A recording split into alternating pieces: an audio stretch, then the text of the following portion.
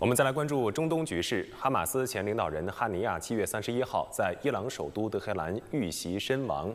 伊朗方面认为此事是以色列所为，誓言要对以色列展开报复。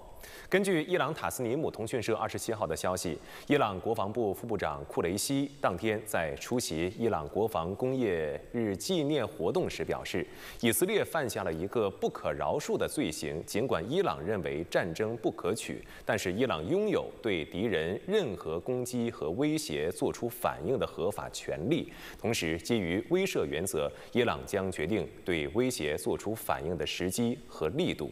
库雷西说：“就目前而言，以色列处于焦虑和恐慌当中。可以肯定的是，伊朗的回应将是不可预测的。”